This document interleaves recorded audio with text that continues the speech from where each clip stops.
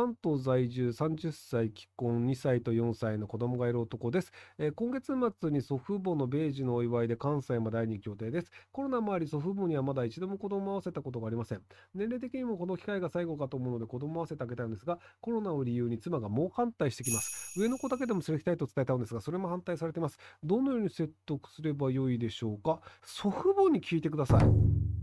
多分あのそれが原因で祖父母が死んだ時にめちゃめちゃ詰められると思う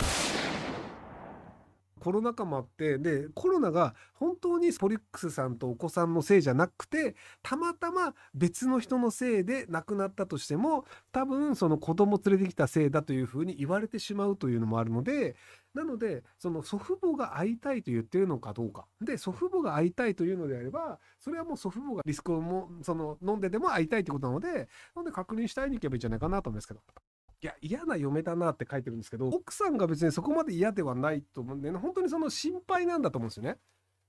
で一応そのあのコロナもまあある程度ワクチンを打てばそんなに重症化しないよねという状況になってるんですけど今のところでも100%ではないんですよ。であの5年ぐらいしたらなんか治療薬とかできてであのもっと性能のいいワクチンが出てきて別にコロナとかそんな死ぬ病気じゃないよねただの風邪だよねってなる可能性もあるのでなので寿命が5年以内に来ないんだったら今合わせないというふうに考えるという奥さんのその考え方自体も別にそこまで否定できるものではないのではないかなと思います。